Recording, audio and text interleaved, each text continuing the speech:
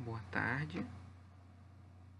Esse é o grupo das GWAS, Farmacogenética e Farmacogenômica. E eu sou Vinícius e começarei agora pela introdução do nosso trabalho.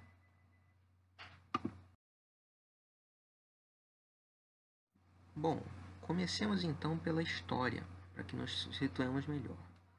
Graças à genética e seus estudos, muito se descobriu sobre as associações entre as diferentes características dos seres vivos e seus respectivos genomas, e há ainda muito a se descobrir. Contudo, com o avanço das tecnologias e métodos, podemos entender ainda melhor o funcionamento dos componentes orgânicos. Um desses métodos foi desenvolvido bem, até bem recentemente, em termos de desenvolvimento científico. É, então foi em 2007, em meados de 2007, né? É, por Abash e Lamont, surge então a técnica de estudo de associação genômica ampla, da sigla em inglês GWAS, facilitando uma gama de incríveis descobertas na genética de populações, biologia de doenças e desenvolvimento de novas estratégias terapêuticas. Esses estudos já auxiliaram a identificar milhares de segmentos de DNA com alguma associação ao desenvolvimento de doenças, permitindo também o entendimento de características complexas, genéticas complexas. Bom, vamos então a alguns conceitos. Os estudos de associação genotípica. Bom, bom, vamos então a alguns conceitos. Os estudos de associação genética ampla, ou Genome, Genome Wide Association Studies, são um método de estudo que utiliza técnicas de genotipagem em larga escala, observando variantes genéticas em diversos indivíduos para estabelecer uma conexão entre os segmentos genéticos e as características genotípicas. Esses estudos são capazes de identificar milhares de polimorfismos em uma única amostra genômica dentro de um único experimento é, podem ser utilizadas com uma série de finalidades, incluindo o, o melhoramento genético, é, por espécies domesticadas, como na agropecuária, é, na produção de forrageiras. Contudo, nosso foco nesse trabalho será em cima das aplicações dessa tecnologia, desse método, né, na farmacogenética. Bom, Vejamos então o funcionamento. Os indivíduos, primeiramente, são selecionados para o trabalho, de acordo com suas características de interesse, sejam elas doenças, é, características genéticas específicas, como cor dos olhos, cor do cabelo, enfim, características de interesse, com o desenvolvimento de alguma doença genética específica, por exemplo, também. Após a seleção desse fenótipo, o material genético dos indivíduos que apresentam a característica explorada, nesse caso a doença, ou quaisquer das que eu tenha citado anteriormente, é comparado com o material genético de pessoas saudáveis ou que não tenham essas características genéticas, aliás, fenotípicas. É, sendo assim, o grupo controle. Após o final do estudo, identificam-se os segmentos de código que se repetem somente em indivíduos com as características fenotípicas alvo. Então se faz uma, uma separação desses indivíduos e se localiza é, os trechos de códigos genéticos relacionados às características fenotípicas. Nessa comparação de materiais genéticos é feita uma avaliação através de marcadores de polimorfismos de nucleotídeo único ou marcadores SNP, que são alterações em um único nucleotídeo em uma sequência de DNA. Esses marcadores são utilizados nos estudos de diferentes organismos para identificar variações genéticas ligadas a doenças. Bom, vejamos algumas vantagens. A vantagem na utilização dos GWAS, em particular na farmacogenética, é a de que as respostas às drogas muitas vezes envolvem vias é, ainda não conhecidas, né? que dificulta a formação de hipóteses prévias. Já no que diz respeito a esse tipo de ensaio, há a possibilidade de geração de resultados sem hipóteses preconcebidas. É, outra vantagem é que o estudo possibilita uma aplicação de verificação clínica em larga escala, de forma que não haja a necessidade de escolha anterior de polimorfismos candidatos para associação a determinado fenótipo do indivíduo amostrado. Assim, os GWS possuem um enorme potencial para gerar hipóteses inéditas, podendo avançar ainda mais os nossos conhecimentos na farmacogenética.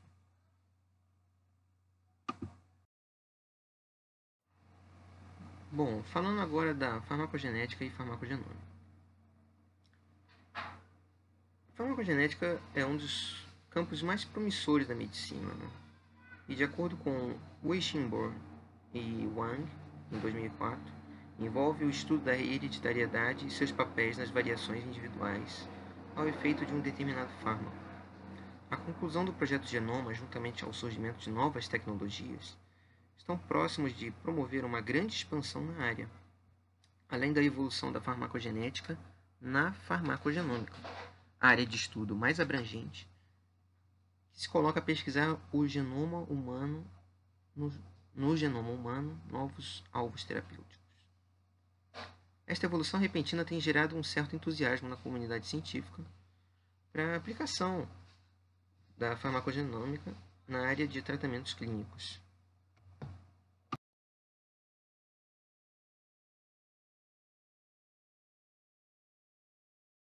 Boa tarde, meu nome é Emily Molinaro e hoje eu vou falar um pouquinho sobre o GEOS, a farmacogenética e a farmacogenômica das doenças cardiovasculares.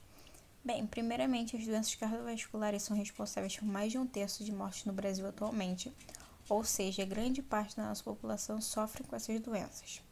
Lesões vasculares que acompanham essa infecção estão associadas à aterosclerose, que nada mais é do que o acúmulo de placas de colesterol nas paredes das artérias, que com o tempo né, podem colaborar para uma obstrução total da artéria. O, aqui a gente tem alguns fatores de risco para o desenvolvimento dessas doenças, e entre eles a gente pode citar a obesidade, o sedentarismo, o tabagismo e altos níveis de LDL. A sortilina foi a principal proteína que foi analisada no estudo utilizado para desenvolver um pouco desse tópico para esse seminário. E bem, como eu disse, a sortilina é uma proteína multifuncional.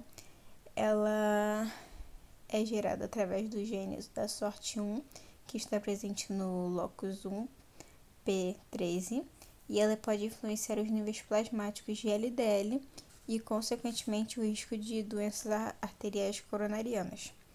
Ela é sintetizada na forma de uma proteína e é clivada no complexo de Golgi por convertases assumindo sua forma matura e permitindo as ligações ao seu ligante. Ela trata-se de um receptor de múltiplos ligantes, entre, entre eles LDL, desculpa aqui ficou LPL, a ApoAV, a neurotensina e a RAP. E ela tem importante papel biológico, e a sua desregulação pode causar efeitos indesejados, e dentre eles, como vamos analisar principalmente, a alteração de níveis de colesterol LDL no plasma. Falando um pouquinho sobre o GWS, é, esse método possibilitou a identificação de uma série de novas variantes de DNA que influenciaram os níveis de LDL no plasma. E foi possível fazer uma associação dos níveis de LDL a casos de infarto do miocárdio. Foram feitos diferentes GWAS que tiveram enfoque na identificação de moduladores genéticos de doenças. E foi possível fazer a identificação das doenças e das variações genômicas através de rastreios populacionais. Um grande desafio desse método é compreender a base biológica dos sinais revelados por ele. Relativo à doença arterial coronariana e ao infarto agudo do miocárdio, o GWS levou à identificação de sete losses cromossômicos é, localizados no em um P13.3, dentre eles a sorte, a sorte 1 se destacou como gene de risco para doença arterial coronariana. Mas é importante a gente ressaltar que a gente tem uma melhor aproximação genética dessa associação, mas impossível obter através do GWS é, devido aos efeitos de linkage de desequilíbrio. O que seriam esse linkage de desequilíbrio? São as situações em que algumas combinações de alelos ou marcadores genéticos ocorrem mais ou menos frequentes em uma população do que esperado na formação aleatória. Ou seja, isso pode variar muito, então pode acabar não, não nos dando resultados exatos. WS e a existência de uma correlação negativa entre os níveis de RNA mensageiro, a sorte 1 e as concentrações de CLDL no plasma, sustentando um mecanismo biológico que explica como a variação genética do locus 1P13 pode influenciar os níveis plasmáticos de LDL. E assim, alterando o risco de doenças cardiovasculares ou infarto agudo do miocárdio. E também esse o estudo de Mussuru foi feito em não humanos, assim como esse, o terceiro estudo que foi de Kojub et al. Nesse caso foi feito quinó duplo com a sorte 1 e LDLR e foi possível observar uma diminuição de 30% nos níveis de colesterol total, de 50% na ApoB100, que equivale a VLDL e LDL, 60% da área das placas ateroscleróticas, quando comparados ao Knox simples, que só analisou LDL e R. E foi possível observar que a deficiência de sortilina levava a uma diminuição de 50% na secreção de lipoproteínas, e apontou uma correlação positiva entre a expressão de SORT1 e a concentração de CLDL. Ou seja, foi possível a gente visualizar que esses três estudos, dois tiveram resultados mais incomuns e o terceiro teve resultado oposto. Mas por que, que a gente tem esses resultados diferentes, né? A gente pode analisar que as cobaias foram diferentes, alguns usaram não humanas e outras humanas, e também que os perfis metabólicos eram diferentes, então é muito complicado você comparar os estudos assim diretamente, sendo que os perfis não foram os mesmos, né, analisados, então pode sim apresentar resultados diferentes. E o que a gente chegou de conclusão desses experimentos? Eles demonstraram que a sortilina ela pode assumir funções hepáticas complementares e dependente do meio metabólico que regulam a secreção do tráfego das VLDL para o lisossoma quando os níveis intracelulares de ApoB são aumentados. Em caso de diminuição da ApoB100, a sortilina poderá regular a formação de secreção de VLDL. Então, uma possível função da sortilina e secre da formação e secreção de VLDL, que nada mais são que os triglicerídeos, não se harmoniza com o GWOS facilmente, como ocorre com a associação com o CLDL. Então, são conclusões um pouco difíceis e ainda em estudos. E mesmo depois de esforços com investimentos de GWS, que a gente sabe que trata-se de um método bem caro, é, uma parte significativa da é apenas hereditariedade de doenças complexas mesmo, é mais difícil de analisar um, um padrão, né? Mas o GWAS foi muito importante para orientar um ponto de partida nesses estudos que foram desenvolvidos. E agora um pouquinho da farmacogenética e da farmacogenômica relacionada mesmo às doenças cardiovasculares. As drogas, fármacos que são desenvolvidos para o tratamento de doenças cardiovasculares elas se baseiam principalmente em possibilitar o aumento da biodisponibilidade de NO.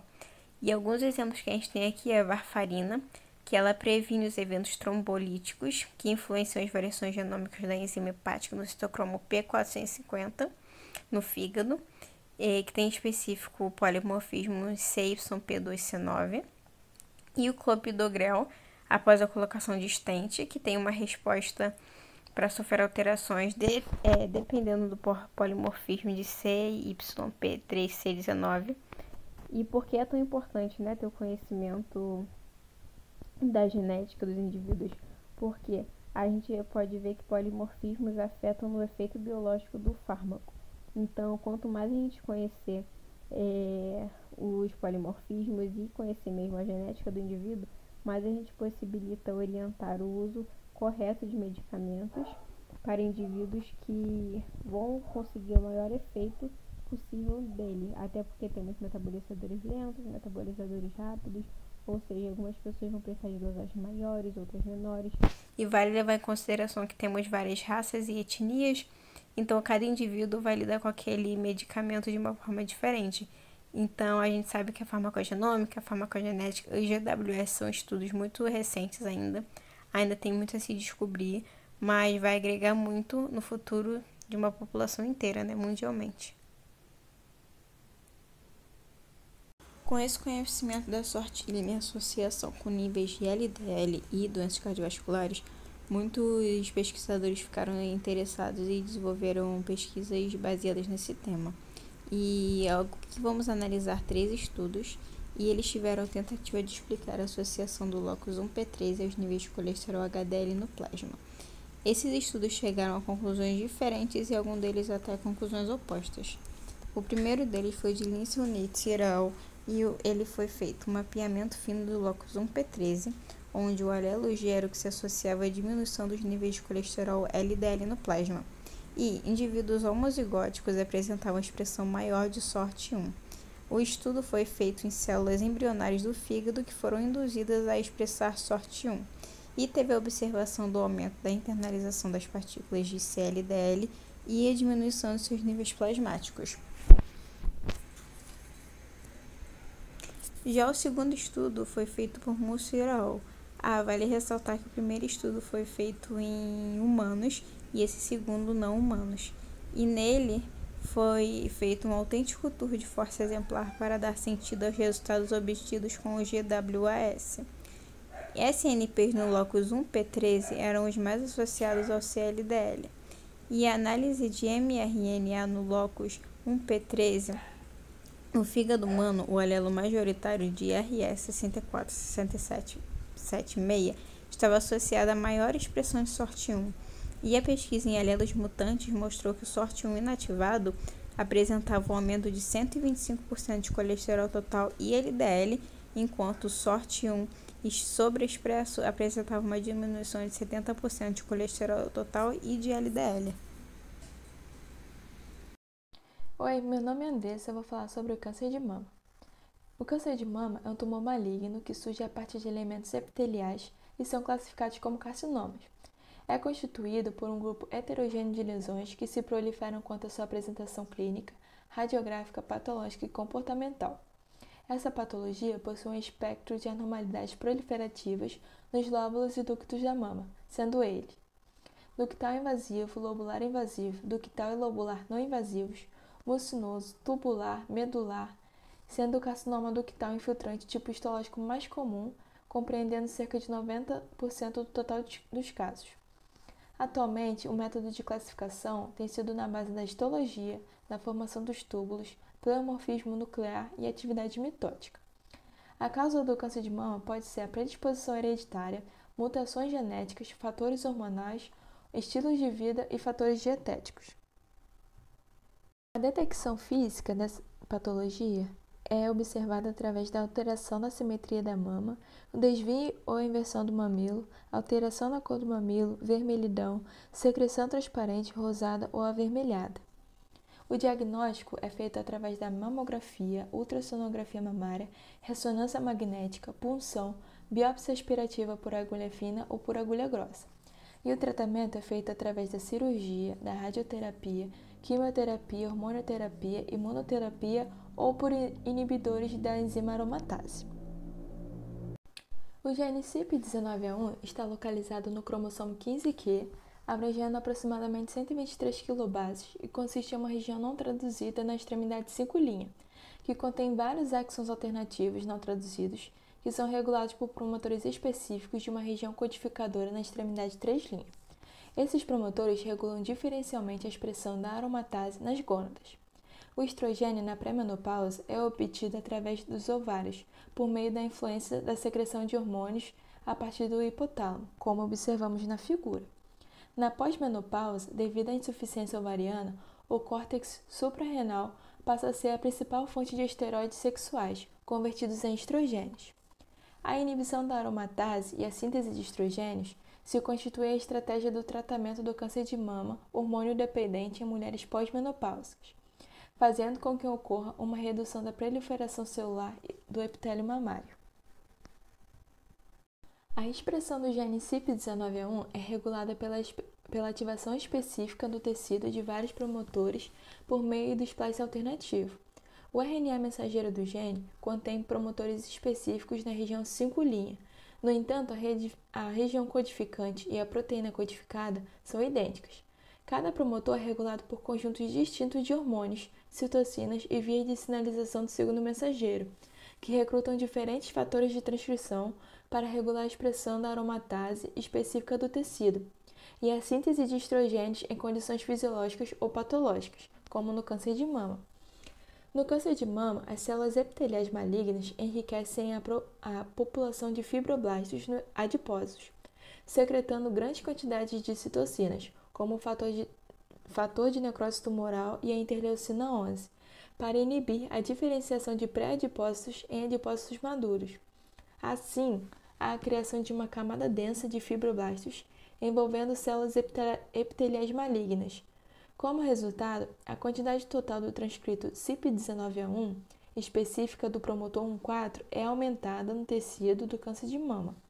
Dessa forma, as células epiteliais malignas do, da mama secretam prostaglandina para causar a troca do promotor CYP19A1 1,4 para os promotores 1,3 e 2, mais potentes nos, nos fibroblastos adiposos que, juntamente com os tumores, levam ao aumento da população da, da aromastase e à proliferação de células endoteliais. Os IA são uma nova classe de fármacos que inibem a função da enzima aromastase.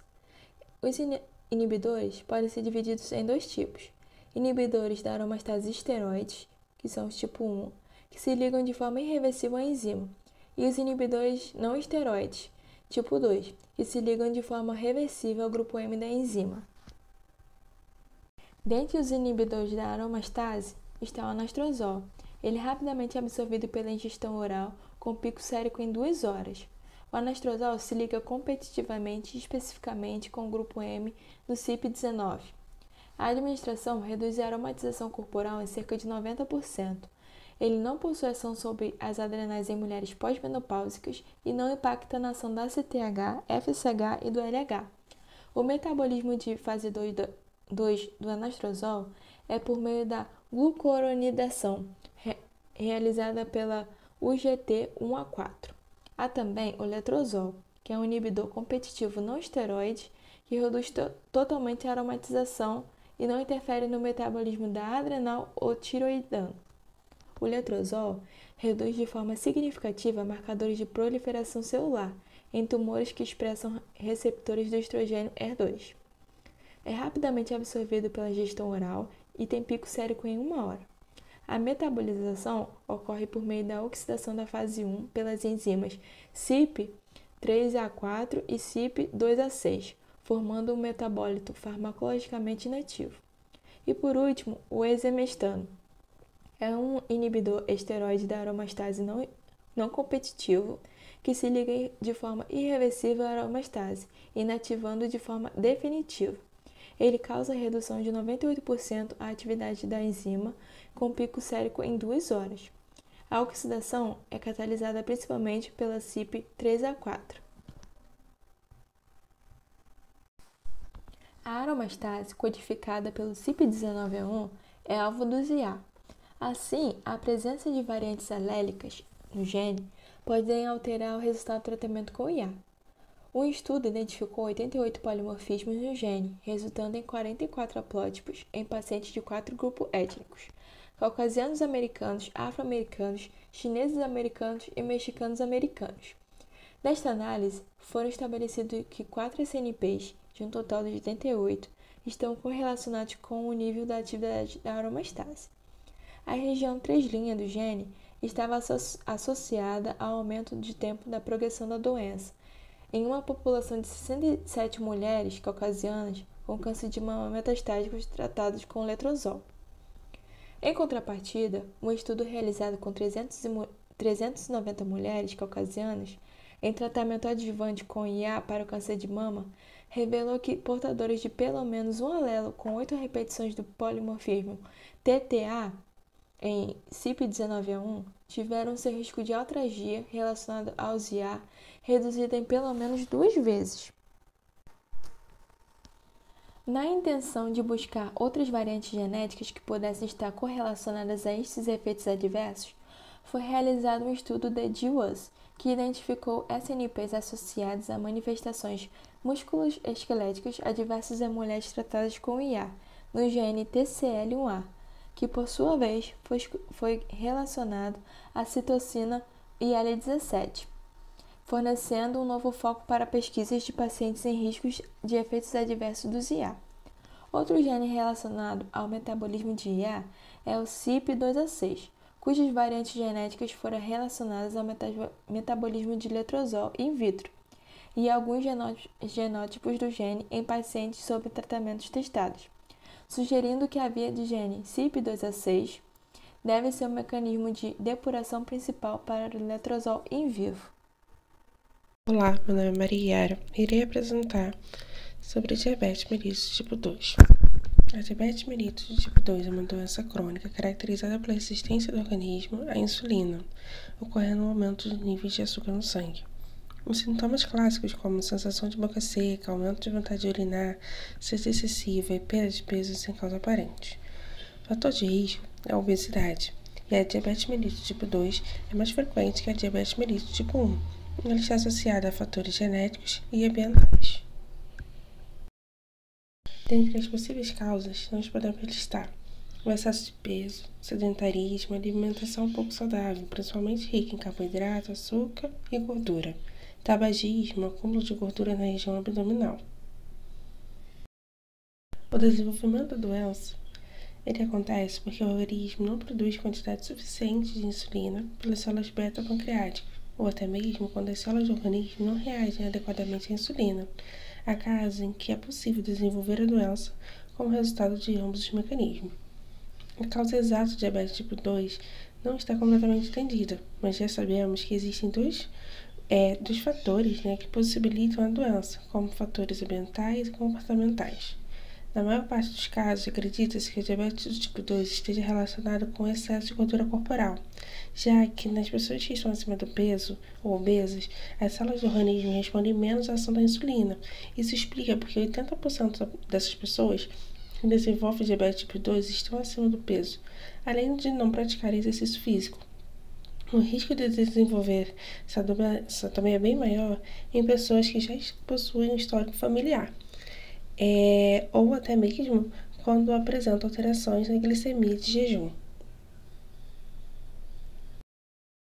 O tratamento pode se dar por duas vias, tanto pela parte da insulina ou com o uso de anti, anti, antidiabéticos né, não insulínicos, que é no caso o uso até da metformina, que é o fármaco bem mais utilizado. Bom, o que é Gauss? Nada mais é do que um meio de investigação genética, podendo encontrar associações patológicas através de variações genéticas específicas. O método é denominado de scan genoma, já que podemos verificar de maneira bem detalhada as diferenças associadas à doença e análise, podendo assim detectar, tratar e prevenir. Mas para que possamos ter realmente um detalhamento né, desses genes, nós precisamos dos biomarcadores. Eles vão possibilitar um tratamento individual e específico, possibilitando um diagnóstico bem mais preciso, minimizando o risco de toxicidade, aumentando a eficácia do tratamento e, consequentemente, a redução dos custos. Nessa primeira tabela, estão representados diferentes tipos de biomarcadores e suas respectivas definições, como a suscetibilidade, o diagnóstico, monitorização, prognóstico, predição, resposta e segurança. No diagnóstico, por exemplo, podemos detectar ou confirmar a presença de doença ou estado patológico, por exemplo, a glicose ou o HbA1c para identificar pessoas com diabetes do tipo 2. Bom, as aplicações da investigação e no, desenvolvimento de novos fármacos. A farmacogenômica pode ser adaptada de modo a melhorar essa competência, né? É assim podendo produzir melhores fármacos. Bom, na tabela 2 está é, explícito né, algumas aplicações da farmacogenômica em diferentes fases de investigação e desenvolvimento de novos fármacos. Nós podemos identificar como a identificação do alvo terapêutico, o ensaio de toxicidade, a farmacocinética, a farmacodinâmica, a segurança, a identificação de alvo promissor, né, como a identificação nessa aplicação de alvo promissor, é, os, biomarca os biomarcadores, né, além da explicação da variabilidade interindividual. A farmacogenômica, dessa forma, pode assim prever efeitos adversos. Com isso, temos um caso do grupo farmacológico das sulfonilureias, as quais são metabolizadas pelo citocromo P450-2C9, codificada pelo gene CYP2C9, que quando se trocam né, esses aminoácidos arginina com cistina e isoleucina com leucina, origina-se assim um alelo mutante CYP2C92 e CYP2C93 Ambas essas variantes são caracterizadas por, metaboliza por metabolizadores lentos, e os doentes que apresentam o alelo CYP2C93 demonstram maior risco de situação grave da hipoglicemia, sendo CYP2C9 um alvo para a identificação de diabetes de diabéticos né, com a predisposição à hipoglicemia induzida pela sulfonilurease. Na farmacogenética e farmacogenômica relacionadas a diabetes tipo 2, possuem genes com maior interesse e evidência genética. Aqui na tabela tem alguns genes e seus terapêuticos. Vou começar a falar sobre eles três. Em relação à metformina, o ATM é um gene reparador do DNA que também está envolvido nas vias de sinalização da insulina, disfunção das células beta, ativação do AMPK e essencial na ação farmacológica da metformina. O alelo menos comum é o C. É, e também está associada a uma resposta mais eficaz ao tratamento com metformina. Né? Indivíduos homozigotos portadores do alelo C apresentam uma taxa de sucesso três vezes superior ao tratamento com metformina, comparado com os não portadores do alelo C. O gene TCF7L2 codifica um grupo de fatores de transcrição de alta mobilidade que controla a transcrição do gene proglucagon, que é GCG, nas células endócrinas do intestino, através da via de sinalização WNT. Por sua vez, o GCG codifica o hormônio GLP-1, que está presente na regulação da glicose.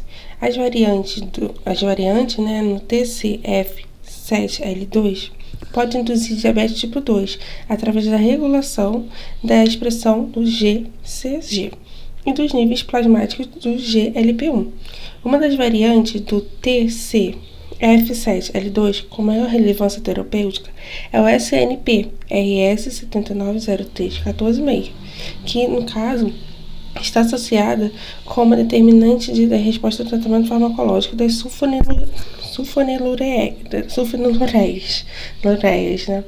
onde se verificou que os indivíduos homozigotos para o alelo T é, apresentam uma probabilidade de menos de 73% de sucesso no tratamento com com essas classes terapêuticas. As, já as sulfonilureias, temos ainda outros dois genes com algumas importâncias, como o ABCC8 e o KCNJ11. O ABCC8 codifica um membro da família C dos transportadores ATP, BIND e K7, que tem como função a modulação de trans, em transportadores de subunidades formadores de poros de canais KATP.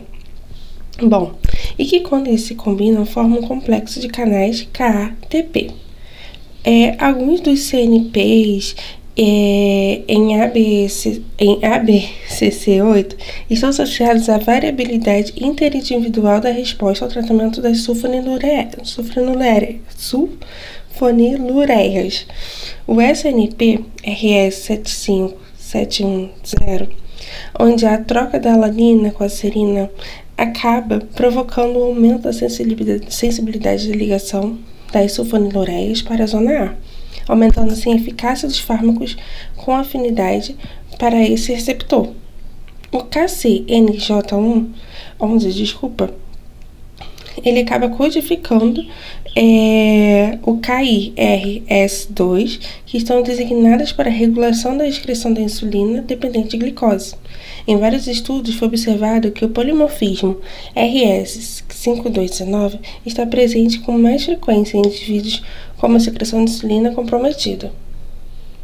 As tiazolidinedionas são metabolizadas pelo CYP2C8 e têm associados efeitos adversos, alguns com maior gravidade, como edema e insuficiência cardíaca congestiva.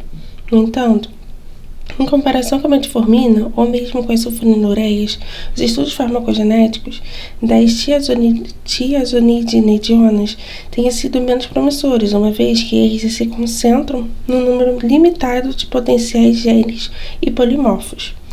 O gene PPARG codifica membros da subfamília dos receptores ativados por, profi, por pro, desculpa, proliferadores de peroxomos dos receptores nucleares, com a sigla PPARS.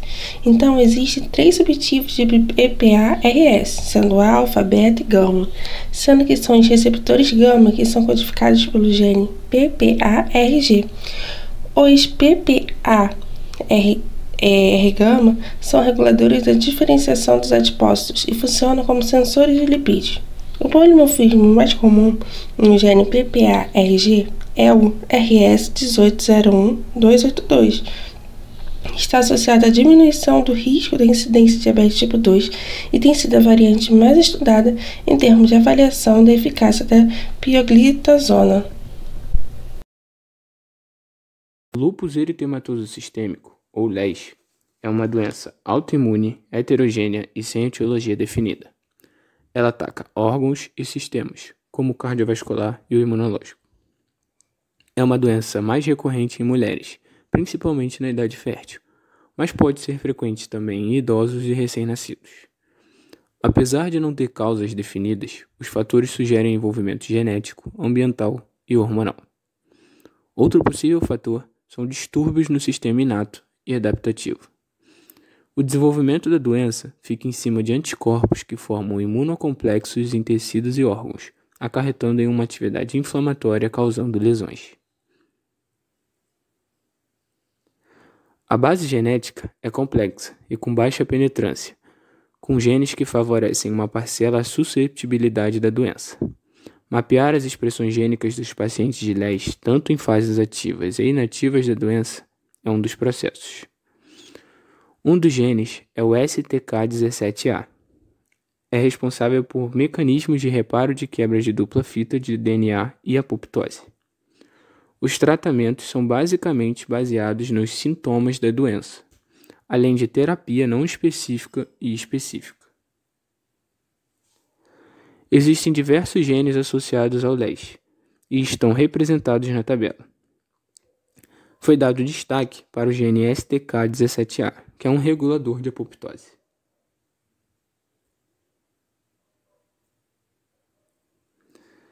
Quanto aos SNPs, as mutações podem ser sinônimos ou missenses. Os sinônimos influenciam na quantidade de proteína produzida, porque, Apesar de ter a primeira tradução silenciosa, eles podem alterar a estrutura e a estabilidade do RNA mensageiro.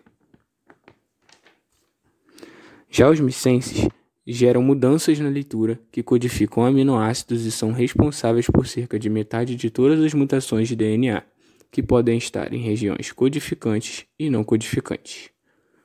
Quanto aos mecanismos de atuação dos SNPs, são o splice alternativo geração ou supressão de códons de terminação, poliadenilação de moléculas de RNA mensageiro e a alteração nos códons de iniciação de tradução.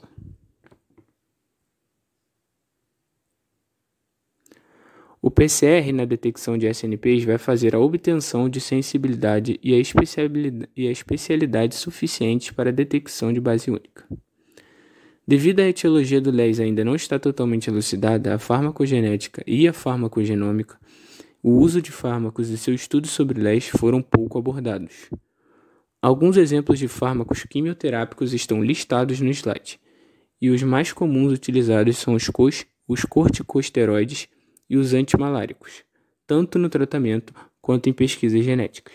Desse grupo agradecem muito o tempo de vocês por verem esse seminário e aqui estão as referências que foram usadas como texto base para basear o nosso seminário. Obrigada!